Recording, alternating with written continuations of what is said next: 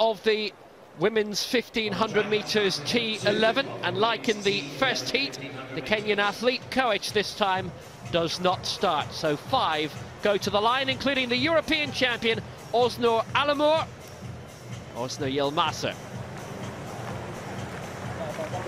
Alumur who won gold in Grosseto at the Europeans last year bronze in the 400 metres and gold in the 1, 2 and the 4 in the previous Europeans in Swansea in 2014. Her guide is Atakan Altasai.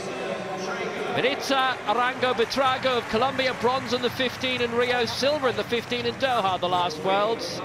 No Nancy Koech, so now we're on to Joanna Mazur of Poland. Two golds from the Europeans in Grosseto, including the two. Michał Stawicki, her guide.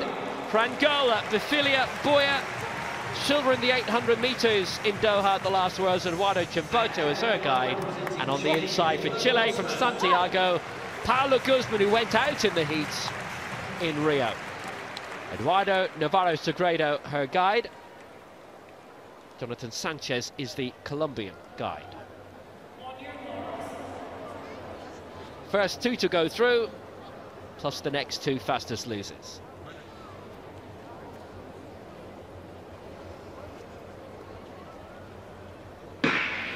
So Guzman, Buya, Mazur, Rango Buitrago and Oznur Alumur are the five in this, with the first two making their way through. Maritza Arango Buitrago, sister uh, Adriana's involved in international athletics as well now these days. The Colombian Athlete of the Year a few years ago she was, across all sports. Able-bodied and para. The Filia Buya of Angola in second place, very busy programme it was for her in Doha. Remember, it was very, very hot there. The evening sessions went on a long time. There weren't very many morning sessions because there was the uh, the height of uh, the high 30s in terms of the temperature. So there were very long evening sessions there. Silver in the eight, reached the final of the 15 and the four, but didn't medal there. Rango Buitrago taking up a good position straight away for Colombia. We've got three laps to go.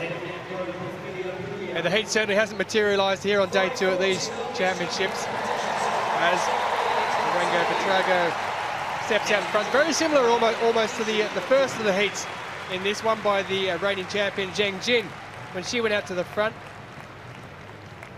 Rango Buitrago with her guide Sanchez Gonzalez just stretching out in front there and then we had in the first one it was the uh, South African Coetzee who was in a similar position but Mazur makes to make sure she doesn't get dropped there at the back. Just the first two who automatically qualify in this. So we're around to around 200 metres remaining in this, the second lap of the 1500 metres event. And Mazur in Poland there looks like she's getting dropped off the back uh, somewhat. So she'll need to pick up the pace a little bit, but doing it quite nicely out in front is Maritza Arango Buitrago, who coming around into the home straight leads by around five or six metres there. Doing it nice and easily indeed. And behind her, it is Befilia Buya of Angola in second place, who has just dropped back slightly as Mazur picks up a bit of ground in third place with two laps remaining. The head-on shot certainly foreshortens it. Two laps to go. Rango Buitrago leading very comfortably for Colombia. Befilia Buya quite a bit back, maybe 15 metres or so in second place for Angola. Joanna Mazur of Poland closing in in third. And then massive gaps back to fourth place and Paula Guzman. And even further back to fifth for Oznur Exil Yilmaz, who, remember, is the European champion. But such a comfortable margin of a lead for Maritza Arango Buitrago at the moment, who's medalled in the 1500 metres at the last two major championships bronze in Rio, silver in Doha.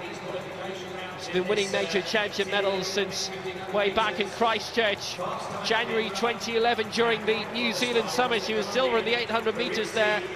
Had tried very short distances. She was fourth in the 400 metres, but felt that the longer distances were her strength, and she's certainly shown that. With five major championship medals, she won silver in the 1500 metres in Doha, but also doubled up in the eight, and she won bronze in that. And Jonathan Sanchez Gonzalez, her guide, has done a very good job. So tight for second place and the second automatic qualifying spot with Buya in second, Mazur in third, and here comes the bell. Well, I can tell you what's happened here is uh, Mazur is up in third place, just off the back of Buya, but her guide has done ever so well as Joanna Mazur. Michael Stawicki, you can see him talking to her the whole way through. He's just guided Mazur through, and at this stage, Buya looks like she's in a bit of trouble there. The first two who go through in this way out in front is the Colombian Maritza Arango Buitrago, but Mazur looks like she's in a pretty comfortable position at the moment to come around of the outside of Buya, who looks like she's been struggling the last four or 500 metres. And there you see Mazur coming around the outside with around 250 metres to go in this race. Such a comfortable victory it's going to be for Maritza Arango Buitrago, that's for certain. But the big race is for second. A lead now of around 60 metres, 60 to 70 metres. And when Maritza Arango Buitrago, it's almost like a time trial for her now. She might not even break five minutes, but she won't need to. She's going to win this. Here's the main race there. Buya in second place for Angola. Joanna Mazur, double European champion in third for Poland. Her guide, Michał Stawicki, working it on the outside. Arango Buitrago to qualify for the final as the winner of right now. Mazur makes the break to go to second place. And what a sprint it is by Joanna Mazur. She'll go through along with Maritza Arango Buitrago who wins in 5.04.57. The Poles are slowing down, but they'll get through. Mazur in second place. Buya in third. That's the one, two, three. Big gap back to Paula Guzman of Chile in fourth place. And the guide, I think, might have crossed the line ahead of her. That would be disqualification, but Arango Buitrago gets the win. And Mazur in second place made the break at exactly the right time. Very, very well guided. Buya in third, might be fast enough to go through. And Arango Buitrago so comfortable throughout, eased up in the final 100 metres. Mazur definitely didn't. Coming on the outside in lane three. Buya beaten at that stage.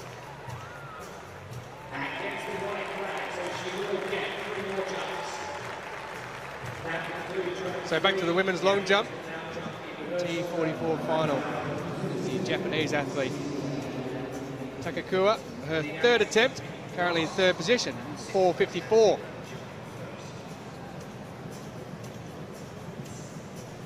Her best. Second of 446. And the third It looks a little bit longer indeed. She looks happy. How did you read that one, Vanessa? I think if I saw it right, it's a foul. So it may be fathered, but it may not be legal, actually. I'm going to tip it's an actual legal one. Let's see. I think she perfectly judged that one.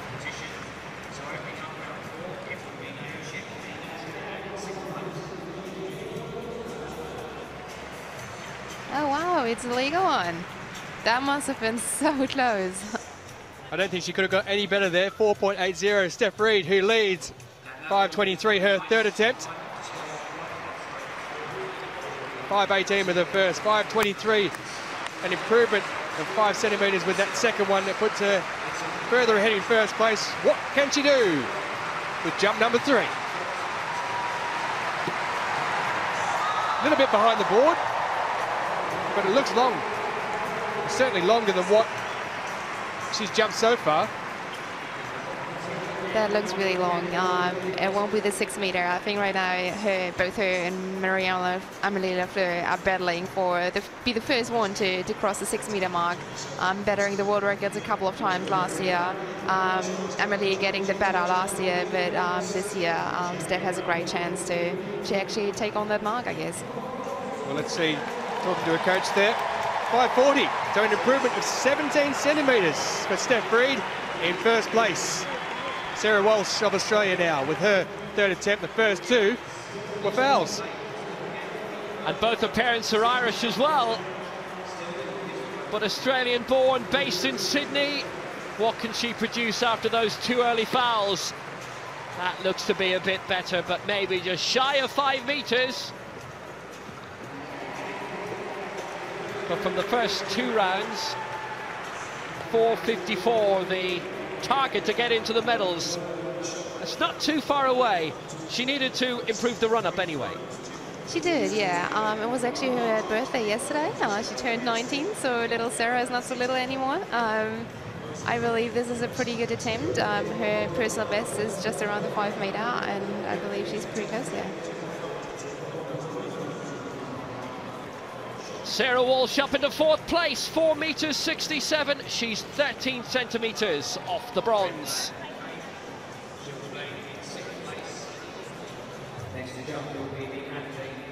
So Maritza Arango Buitrago wins for Colombia, 5